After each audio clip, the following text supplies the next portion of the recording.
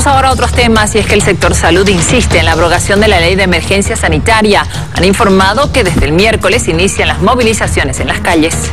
La noche de este lunes, luego de una reunión entre diferentes sectores en salud, se determinaron las nuevas medidas. Convocar y empoderar a las diferentes instituciones del departamento y al pueblo en general para fortalecer la lucha hasta lograr la abrogación de la ley de emergencia sanitaria. Iniciar las movilizaciones en las calles desde el día miércoles para sumar a los diferentes actores y población en general.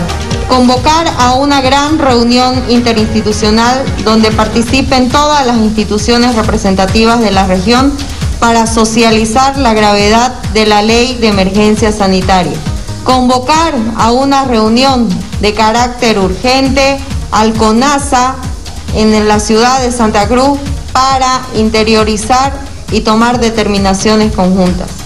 Ante la aprehensión o persecución de cualquier profesional o trabajador en salud, todo el sector salud radicalizará las medidas hasta que los detenidos o los perseguidos sean absueltos.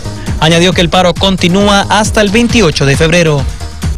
Hoy es el quinto día de paro médico. Familiares de pacientes se quejan de los perjuicios. El sector salud señala que se siguen realizando cirugías y atendiendo emergencias.